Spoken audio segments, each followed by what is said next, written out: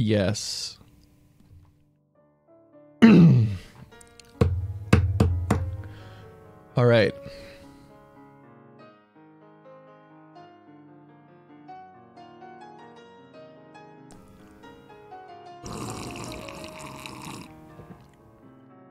Okay, so welcome everybody to a lovely, wonderful time here. Honestly, can I do this? Oh, I can do that. Nice. I should probably set something as the background. Hmm. Alright, let's do that. Add image. Bam. Background? Oh. Okay. Is not the same size as my background? Oh, it isn't. I didn't know that. Gotta make sure the Bucky's is in there. And bam! Alright, I'm here. Alright, everybody. It's your boy, Curio. It's me. It's yes. It's me. I'm here. Alright, so I said I told everybody on yesterday. Got it. Uh, I told everybody yesterday that I would start doing these videos where like I kind of went over what I did over the week, what I'm planning on doing in the future, you know, just a couple of like kind of like an update type thing, you know, where everybody knows what's going on.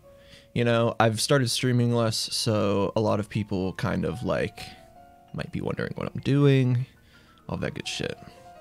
And I'm here to tell you, I'm here to put your put those worries to rest and just let you guys know what's going on. So I wrote some notes, believe it or not. All right, this week's overview. So over this past week, I started, well, actually about two months ago, I would say, I vowed to you guys, I said it, I said, Curio is going to make models from scratch. No holds barred. It's done. It's a done deal. I'm taking this shit seriously. And to that end, I feel like I've done a pretty good job. Um, 3D modeling is, uh, I'm pretty sure many of you realize, very, very difficult. It's a very difficult thing to do. And uh, it takes a lot of research. I spend a lot of my time just watching videos and seeing what other people do. It's a, it's an art.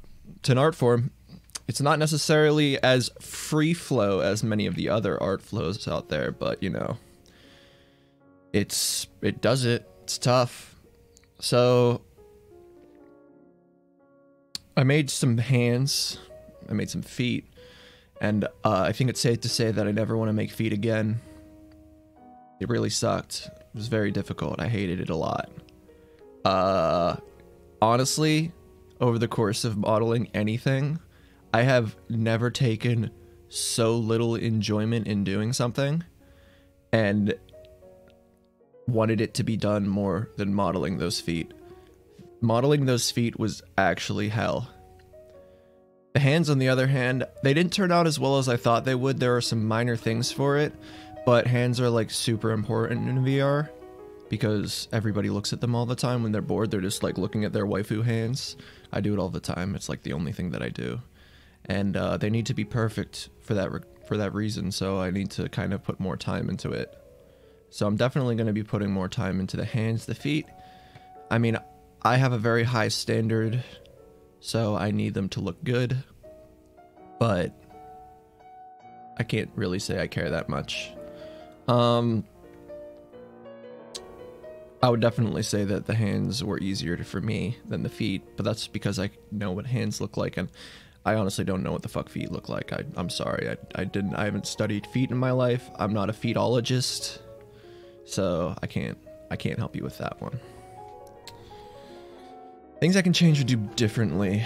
Um, I don't know. I haven't really gotten to a point to where I understand what I'm doing well enough to be able to figure out how I could do it better. I think that's probably the best answer that I can muster there. Um, it's a mess. It's a mess for sure. All right. So I told you guys a couple of days ago that I would be doing some interesting stuff in the future, and this is a perfect place to talk about it more. I um wanted to I wanted to like uh dive into graphic novels to some extent because I feel like I as a when I was growing up I was always really interested in graphic novels. I was always really interested in like making or like I would I'd skip, I'd skip school. I would skip school and I'd go to the library and I'd read Spider-Man. Like literally that's what I would do. I would go to school and I'd read Spider-Man all day because I was just I I don't know, just yeah, it, it passes the time I guess, but it's really good. Especially Ultimate Spider-Man, that was my shit. I read like every single one of uh, Ultimate Spider-Man. Um, they, uh, I think that it's an art form that I could expand upon, and as many of you know, I'm two-dimensionally retarded. I am incapable of drawing. Uh, I say that, but I kind of did an okay job this past week on that that character reference sheet that I made. I'm really working on it. It's very important, and um, but I I think that if I could go in a three dimensional direction and a game design direction, then I really feel like I could probably pull something together to where I can make a a graphic novel with interactive slides. You know, like it's kind of like it reads like a it reads like a comic book. The way that I envision it is it reads like a comic book, but each specific panel has its own scene that plays through a short animation to be able to create the direction. It's kind of like the live 2D things that you see a lot.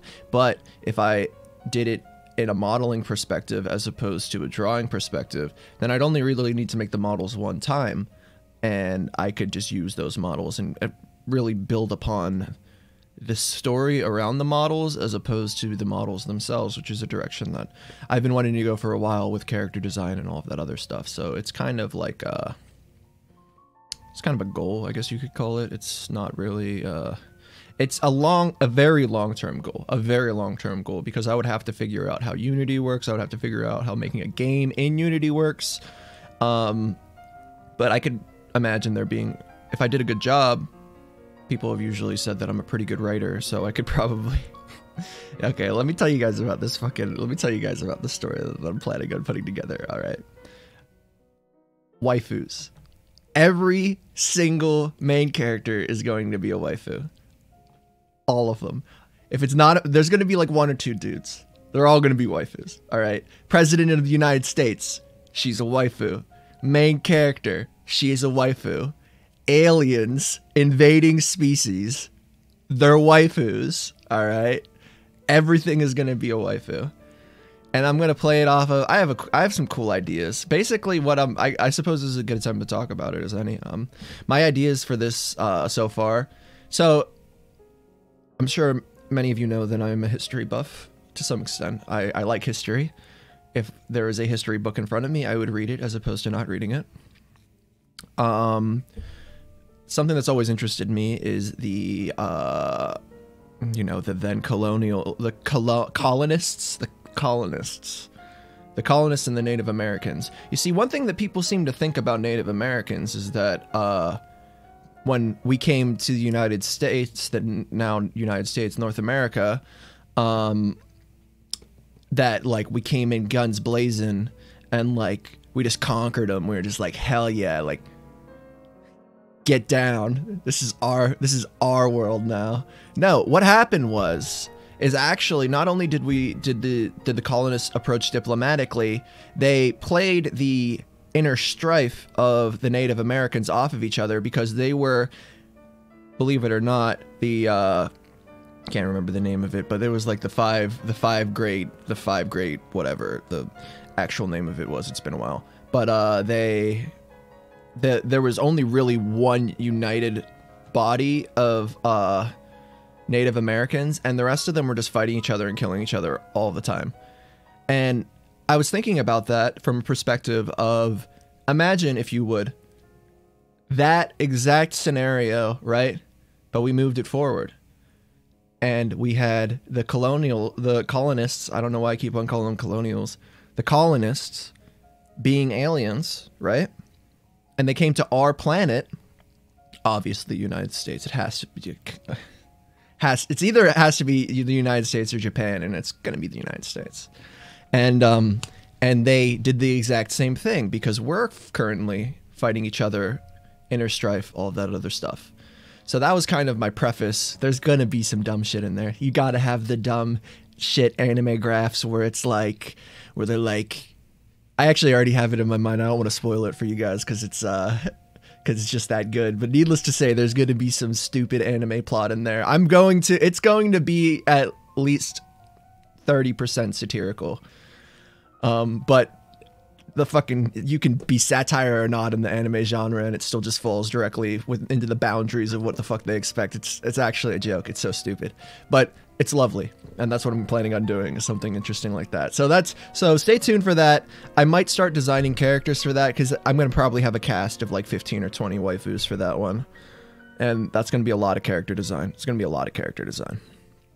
So i might start working on that in the near future. What else do we got? Okay, uh, so I want to make an FAQ, and I want to answer those FAQ cues on this specific thing right here. This little address, you might call it, the curio address. Um, I'm probably not going to call it that because that might confuse people and then get me doxxed. Um, so I'm gonna make like a curious cat or something. You guys can ask questions there, and I'll answer them on the stream. I want to do this. I want to do this on Wednesday of each week. Release it to patrons on Wednesday, um, because Wednesday is my short day because it's my off day, or I play other games like League or Rainbow Six, and uh, then I want to release it to everybody else on Friday, and then you know, let everybody else soak in the grandeur, as it were. Um. Oh yes. So this is actually pretty important.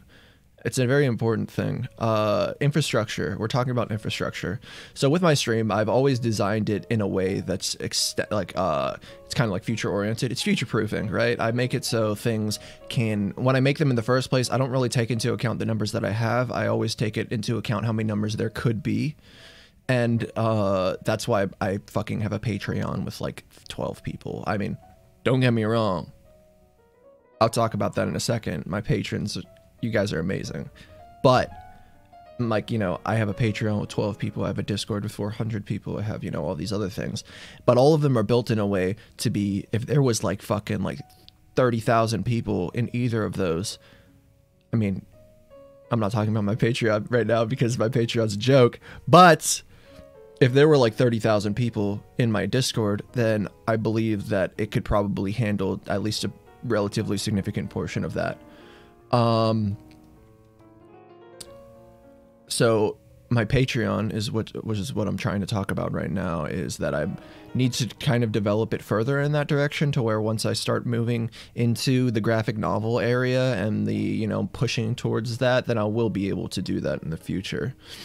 So obviously there's a lot of work ahead of me, but I mean it's not it's labor of love, you know. You know me, man. I'm not I ain't complaining. You guys know what I sound like when I complain.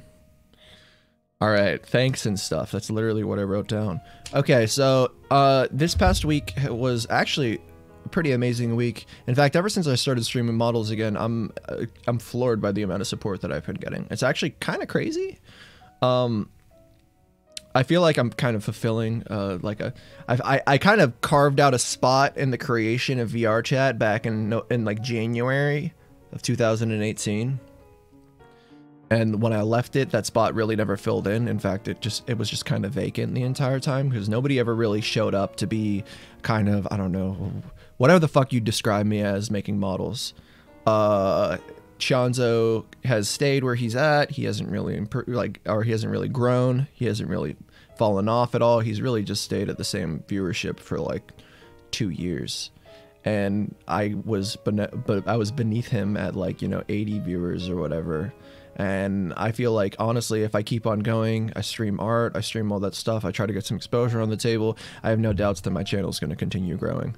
So I just feel like you know I appreciate you guys. You know, I love you guys. You guys are really, really important towards the stream and towards everything. And honestly, I can live without you guys. So, my patrons, my sweet, sweet patrons, I appreciate you guys. I want to tell you guys that I consider you guys like the board. All right, you guys are my board of directors. I mean, you guys give me no direction whatsoever, but that's honestly optimal because I don't want your direction.